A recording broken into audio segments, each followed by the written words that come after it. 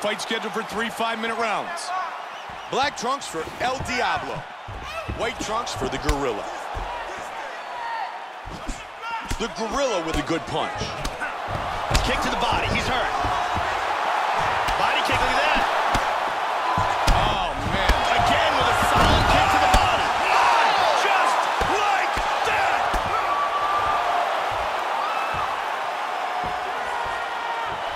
It was that nasty body kick that stopped this fight.